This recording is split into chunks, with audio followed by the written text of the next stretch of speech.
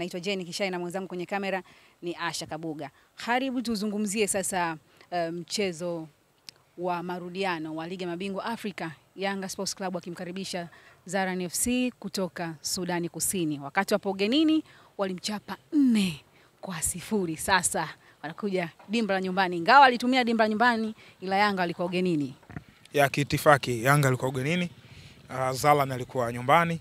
Uh, mchezo unaokuja sio wa itifaki. Yanga atakuwa nyumbani, Zalan atakuwa ugenini. Nasubiri maajabu ya mpira e, ili Yanga asipite, itakuwa ni maajabu ya mpira wa miguu, kwa sababu tunaambiwa kwenye mpira wa miguu hakuna maajabu ambayo hayajawahi kutokea.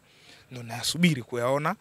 Kwa Zalan wataonyesha hayo maajabu, maajabu ambayo sitarajii kuyaona. Um, naamini Yanga wana nafasi kama ni kupima kwa asilimia, nawapa asilimia tisini. Tayari wako mbele kwa sababu mechi ya kwanza wameshinda mabao manne kwa sifuri ugenini, sababu inahesabiwa hivyo, ni ugenini. Mechi ya pili Zalan apindue ashinde mabao matano kumfunga Yanga. Zalan ile wamfunge Yanga ile, Yanga unbeaten. Sioni, unajua kuchambua Zalan na Yanga rahisi kinoma yes. Kwa nini? Kwa sababu uh, timu bora inakutana na timu ambayo wameonyesha udhaifu. Ni bora kwa mazingira ya, ya Sudani Kusini, that's why wamechukua ubingwa, lakini tunafahamu daraja la Sudani Kusini na daraja la Tanzania wamepishana mbali sana. Jamaa wana challenges nyingi ambazo wanazipitia, wana mazingira magumu sana ambayo wanapitia kwenye soka lao kwa ujumla wake. Um, ndio hizi jamii pia za Horn of Africa ambazo zinatokea kwenye hii pembe ya Afrika. Uh, the like of uh, Somalia, Djibouti, Eritrea. Kidogo ambaye kanyosha kidole kwenye hii kwenye haya mataifa ni Ethiopia. Ethiopia wanaonekana kufanya vizuri, but na wao pia kwenye club level hawana misuli, hawafanyi vizuri. Kwenye national team wanafanya vizuri sana. Um, huyu huyu huyu Zalan anatokea Sudani Kusini ambao tunafahamu hata kuji, uh, wenyewe wanasema uhuru sijui kama ndio itakuwa sahihi, mimi sifahamu masuala ya kidiplomasia, lakini wenyewe wanasema kupata uhuru ilikuwa ni mwaka 2011. Mimi naita kujitenga na Sudan ilikuwa mwaka 2011. Kwa hiyo walikuwa wanataka kuboresha vitu vingi sana mpaka kastebe kwenye mpira. Um, wanacheza mpira kwa sababu wanapenda. Na Zalan ni, ni battalion club, ni klabu ambayo ilikuwa wale wanajeshi ambao walikuwa wanataka kujikomboa, ilikuwa ndo klabu yao, ni klabu ya jeshi Mwana, ni klabu ya mapinduzi wanatokea katika jimbo la Rumbek. Ni klabu ya mapinduzi wanataka kujinasua. Kwa hiyo ilikuwa ni klabu ya jeshi um, lakini kwa sasa imerudi kwa raia, ipo kwa raia wa pale Rumbek. Um, Sudani Kusini baada ya kujikomboa wanapitia changamoto nyingi za kiuchumi kama taifa. Kwa hiyo kabla ya kuangalia sports aspect wanaanza kuangalia kwanza masuala mengine, miundombinu ya, ya, ya nchi, kwa sababu hiyo miundombinu yenyewe changamoto. Mara nyingi hawa Zalan, so Zalan ligi yao kuna muda inasimama kipindi cha mvua, unashindwa kusafiri, hakuna lami, unasafiri vipi? Eh, kwa hiyo kuna hiyo changamoto, unashindwa kupanda flight kutoka sehemu moja kwenda sehemu nyingine, kuna hiyo changamoto. Tafuta airport yao, angalia hiyo airport ya Juba, hatari. Yani ukiangalia unaona ah, wanapitia changamoto mbaya sana. Hauwezi kuwacheka kwa sababu sisi sote ni ardhi moja, wote sisi ni, ni Afrika. Um, una feel huruma, yani kuna huruma unaipata. Una, una nilikuwa nimekutana na captain wao Justin de Majok Um, huyu ni, ni captain lakini ndo kama mfadhili wa club. Yeye ndo kabahatika, alisoma, alienda kusoma Uganda, akaenda Kenya, kacheza cheza pale, bado kidogo tu asajiliwe na Gor Kogalo Gor Mahia, lakini akufanikiwa, akarudi karudi mpaka kwao. Wazazi wake kama alikuwa hataki acheze mpira, ana hela hela kidogo, sababu amesoma soma nini, anafanya fanya shughuli, ndo ana sponsor ile club na amekuja na timu. Alikuwa anisimulia vitu vingi sana kuhusu Zalan. Kwa hiyo hizo changamoto zote, siwezi kuzungumza kila kitu hapa, lakini hizo changamoto zote ambazo walikuwa wanazipitia Zalan Um, imepelekea ligi yao amini ligi yao ambao wanaipitia imepelekea Zalan kutokuwa uh, timu imara, imepelekea Sudani Kusini kuto kumaliza hizi round. Yani huwaga wamalizage hizi round, sijui watoke preliminary kwenda first round au watoke first round kwenda second round au waonage. Wewe ushakuona group stage kuna timu ya Sudani Kusini? Hakuna, obvious. Uh, klabu zao ni Atrabara inafanya vizuri kule, awa Al Hilal Wahu ambao walicheza na Kipanga Uh, kwenye, kwenye Confederation wanafanya vizuri kule, lakini huku hawafanyi hawafanyi vizuri. Hawa Zalan ni klabu ndogo tu, klabu ndogo uh, Sudani Kusini ndo mara yao kwanza wanachukua ubingwa and still hawajafanya vizuri. Bahati mbaya wamechukua ubingwa huko, wenyewe wamefurahi kweli kweli, jina letu linatokea kwenye CAF, kwenye draw ya CAF jina letu litatangazwa, na kweli kwenye draw ya kafu wakajipanga pale kwenye television, wanaangalia sisi tunaenda nchi gani? Finally wananchi. Ah, mama yangu kaja hapa ananiambia ananiambia bwana, namjua yule mkongomani tu Mayele, namjua Mayele, namjua Khalid Aucho, namjua Juma Shaban, anamjua na na Jigi Jiara Alikwambia kwa nini anawajua hao? anawajua kaniambia huyu kwa kwa hao Mayele na Mayele na na, na Juma Shaban Mayele Juma Shaban na, na Yannick kawajulia kupitia IS Vita Club. Sasa yes, niliona ah, walikuwa wachezaji wa Vita wale wachezaji wazuri wazuri, wanaongea Kiingereza lakini mimi naongea tu kwa Kiswahili hapa. Wachezaji wazuri sana hao wachezaji. Kwa hiyo alikuwa anawajua, lakini mbali na hapo alikuwa anawafuatilia. Yaani alikuwa anakaa kule kwao. Wanaangalia mikanda ya Yanga, wanawachambua Yanga. Tunawaingiaje hawa? Tunaenda Na hata juzi hapa wakati Yanga wanacheza niliwaona walivyokuwa wanacheza na Mtibwa walikuja pia kuangalia. walikuja walikuja Benjamin Mkapa. Uh, Hilali wao wanacheza na Kipanga, walikuwepo Azam Complex, waenda kuangalia, wanaangalia, wanajifunza vitu vingi sana, ila nimewapenda kwa wazi. Wanasema sisi kutembea kuja kama huko Tanzania ni exposure.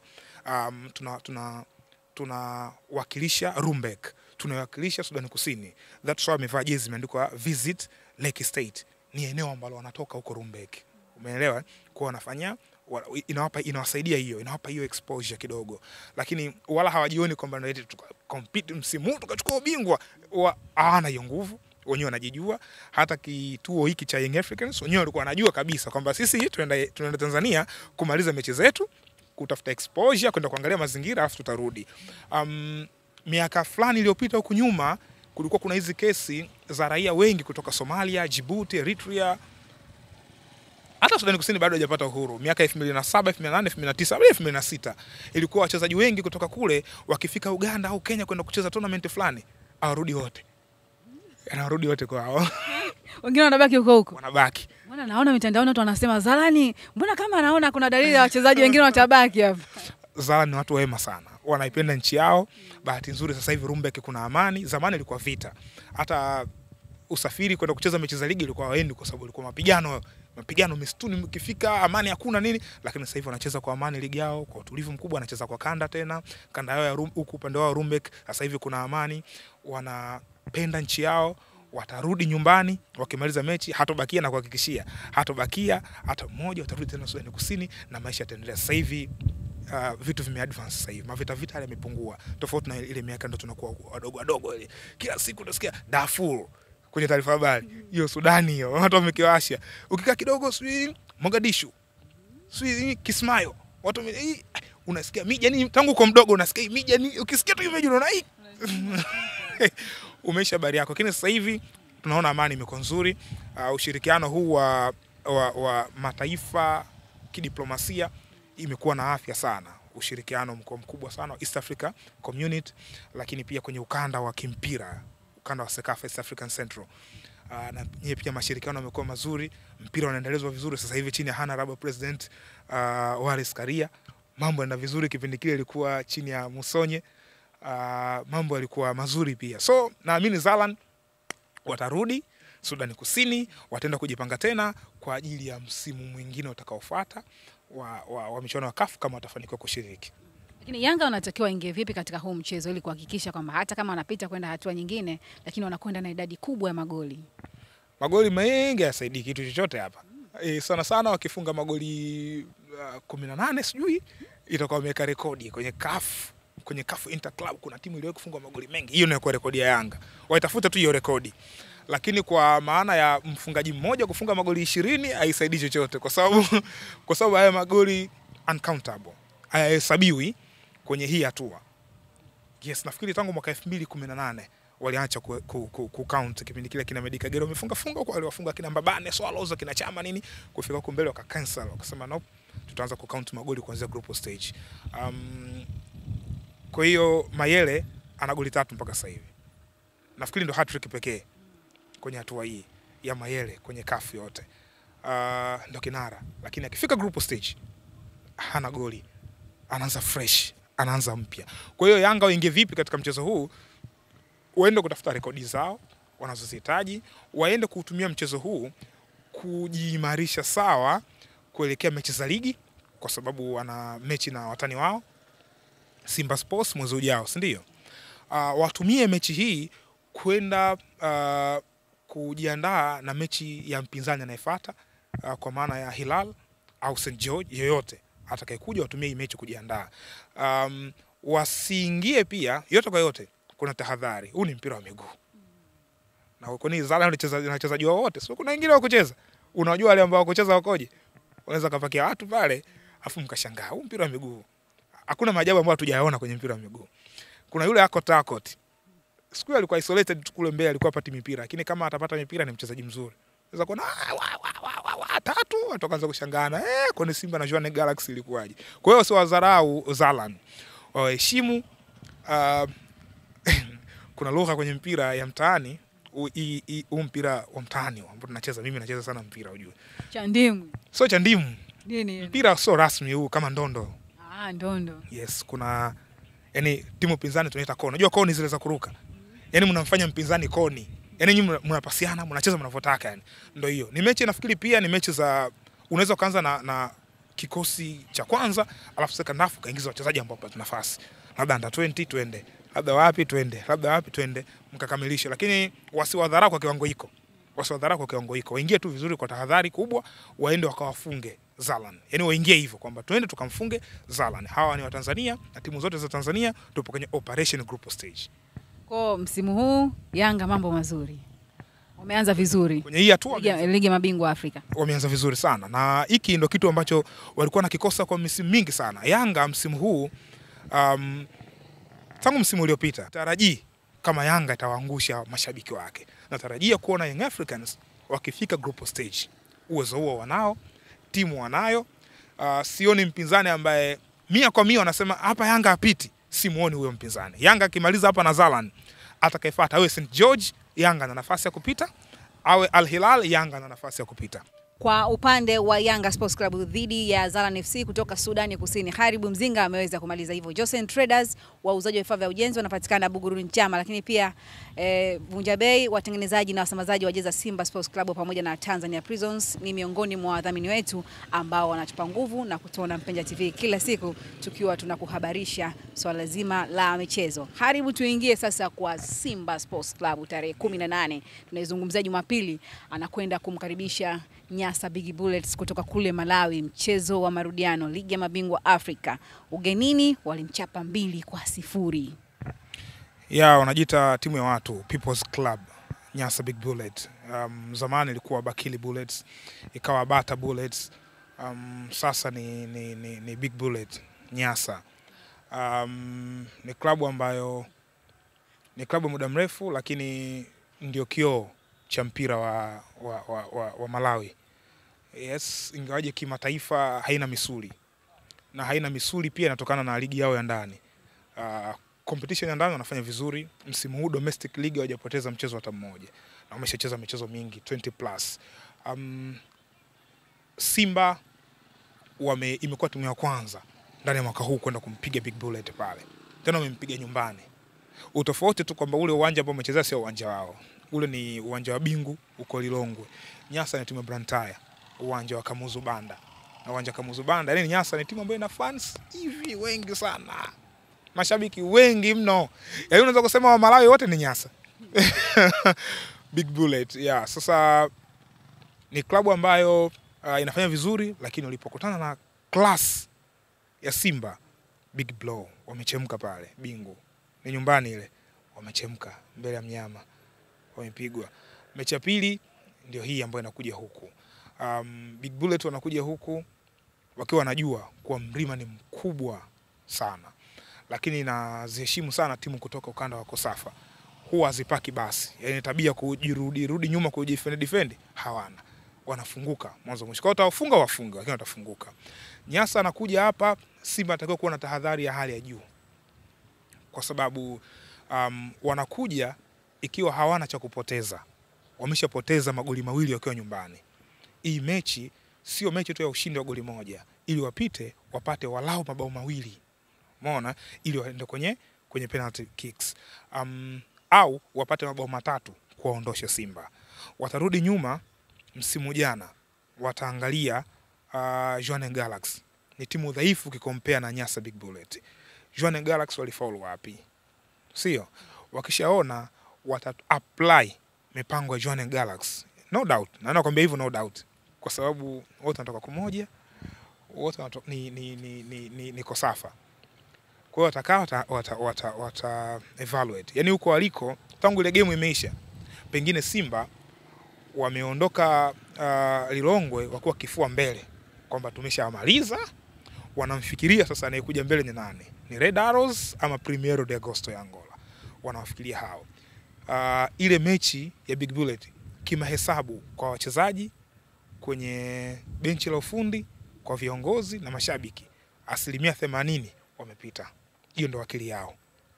Copy and paste dhidi ya Jwaneng Galaxy. Nyasa Big Bullet baada ya kumalizika ile mechi, kuanzia kipenga cha mwisho kiliposikika, wanafikiria tunaenda kugeuza vipi matokeo Benjamin Mkapa. Umeelewa? eh? Kwa hiyo zinakutana timu mbili, moja na confidence kwamba tumeshamaliza, moja inaenda kutafuta matokeo Benjamin Mkapa.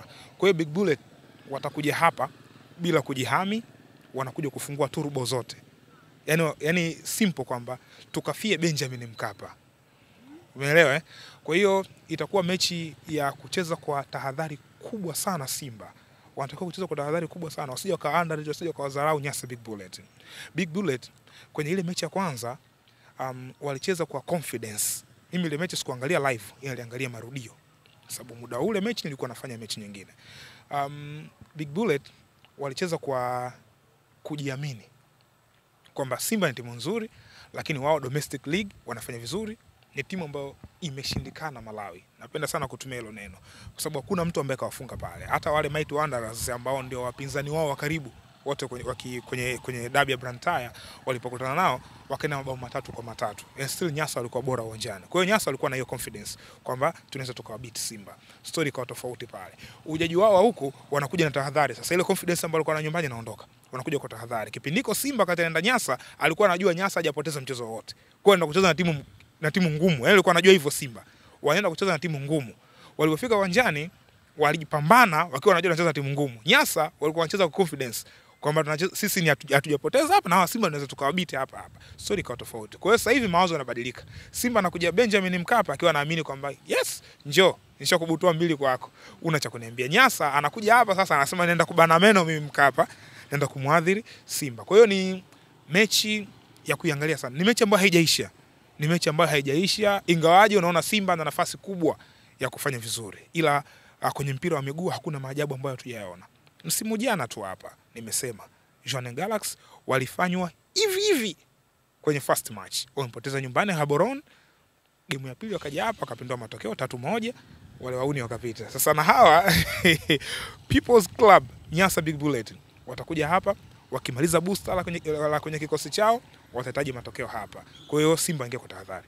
Wakati Simba wamekwenda Malawi, kulitokea vitu vingi sana, mara kocha, mara sijui vyeti, mara sijui nini. Wengi wa- wakawa wamefikiria mbali zaidi, wakasema Simba huenda wangepoteza ule mchezo kutokana na mambo hayo, lakini wameweza kushinda magoli mawili kwa sifuri ugenini. Wanakuja sasa nyumbani, kocha Mgunda na msaidizi wake Selemani Matola walifaulu wapi, lakini pia wanatakiwa kufanya nini ili kuhakikisha hata huu mchezo wakiwa nyumbani wanafanya vizuri zaidi. Walipofaulu kwenye mechi ya kwanza ni kuheshimu Nyasa Big Bullet, uh, ndio maana wakafanikiwa kuwafunga. Uh, wanachotakiwa kukifanya kwenye mechi ya pili ni kuwaheshimu Nyasa Big Bullet ili wafanikiwe kuwaondoa. Ile ilikuwa kuwafunga, huku kuwaondoa, sababu dakika 90 nyingine. Kwa hiyo wanatakiwa kuwa na hiyo na, na, na hiyo tahadhari. Um, sifikirii kama Simba watafunguka sana kwenda kuwashambulia tena Nyasa wafunge magoli mengi, sifikirii hiyo kitu. Watacheza kwa tahadhari uh, ya kujihami, watacheza kwa tahadhari ya ushambuliaji, wakiwa wanajua hawa ambao wanacheza nao wao ni Simba, wale ni Mbogo, sio Mbogo ambao amejeruhiwa. Kwa hiyo kwa namna yote atakuwa na athari. Uh, timu inaonekana na winning mentality. Kwa hiyo imeshinda kwenye mechi ya kwanza hiyo ya Mgunda ya kwanza ya, ya Nyasa, wameshinda mechi ya pili dhidi ya Tanzania Prisons. Maana yake uh, hawa hawa hawa uh, ili benchi la ufundi lina confidence lenyewe, wachezaji wana confidence. Hii confidence waiendeleze ili waendelee kufanya vizuri katika mechi inayokuja. Na namna kuendeleza confidence maanake ni kuendelea kuaminisha, kuandaa wachezaji kisaikolojia, na hiyo kazi Juma Mgunda anaifanya. Aliifanya sana akiwa na Coastal Union mpaka wanafika finali na Young Africans. Coastal Union msimu uliopita tuliona ikiwa na ushindani mkubwa. Uh, Juma Mgunda kwenye maelezo yake, interview yake ya kwanza baada ya mazoezi kupitia uh, platform za Simba, alisema kitu cha kwanza alichokifanya ni kuambia wachezaji wapambane uwanjani. Kwa hiyo kabla kuinput mbinu, kwanza wachezaji kuandaa kisaikolojia, kitu ambacho Mgunda amefanikiwa mpaka sasa. Angalia game yao dhidi ya Tanzania Prisons, namna ambavyo wamecheza. Kuanzia dakika ya kwanza mpaka dakika 80, mechi inaonekana kuwa ngumu. Prisons inaonekana hawataki kukaa na mpira tena, hawataki kucheza tena mpira, kila mmoja anapiga tu mpira uende mbele, lakini bado wachezaji wa Simba walikuwa na, na focus hiyo moja, walikuwa naamini hakuna kusema imeisha mpaka iishe, walikuwa wanaendelea kupush wanashambulia kwa nguvu. Mabadiliko ambayo benchi la ufundi wameyafanya yameenda kuongeza nguvu mpaka wakaenda kupata matokeo ya ushindi. Maana yake confidence ya timu iko juu, walikuwa naamini wanaweza kufanya kitu, na benchi la ufundi confidence yao iko juu, naamini mabadiliko ambayo walienda kuyafanya yangeweza kufanya kitu, that's why wakapata matokeo ya ushindi. Kwa hiyo hata kwenye mechi dhidi ya Nyasa Big Bullet ni kuandaa wachezaji kisaikolojia waende kupambana uwanjani. Sometimes pengine wala sio mechi ya mbinu sana, ni mechi ya kuandaa wachezaji. Unajua wagopa sana wachezaji ambao wameandaliwa kisaikolojia kuliko wachezaji ambao wameandaliwa kimbinu. Um, kuna kuna timu moja iko kwenye Bundesliga inaitwa Sports Club Freiburg. Kocha wao anaitwa Christian Streich. Christian Streich yeye ndio kocha ambaye amekaa muda mrefu sana kwenye kwenye kikosi cha Freiburg kuliko kocha yoyote kwenye timu nyingine kwa sasa ambao wako pale. Christian yeye ni kama mzazi, yaani wachezaji wengi anawazaa kwa umri, yani wachezaji wengi anawazaa. Iangalie timu yake ikiwa uwanjani, wale wachezaji mechi zinapoisha, wakiulizwa in, kwenye interview mbinu ukuti kuzungumzia sana mbinu, mara nyingi wanazungumzia yes, uh, mipango ilikuwa vizuri sana ya coach, yaani atajua coach coach kila kitu coach. Kuna kocha mwingine anaitwa Ushers wa Union Berlin na hivyo hivyo wachezaji wake coach coach. Hasa Freiburg, angalia Union Berlin wakiwa uwanjani kwenye pitch, utaona wanapambana, unaona kabisa hawa ngoma chuma chuma, ndo anachokifanya sasa. Hata kwa Simba uh, mbali na daraja la ubora, mbali na mbinu ambazo wanaziweka pale uwanjani, ukishafanya mbinu tayari waandae wachezaji kisaikolojia, hizo mbinu wazipambanie kwa asilimia mia ili kuweza kupata matokeo. Kwa hiyo naamini ni mechi ambayo ipo kwenye mikono ya Simba wao wenyewe sasa, kama wataendelea kufanya vizuri ama kuiangusha nchi, lakini naamini operation group stage kwa timu za Tanzania, hizi timu mbili kioo, sababu unapozungumzia Simba na Yanga unazungumzia timu mbili kioo.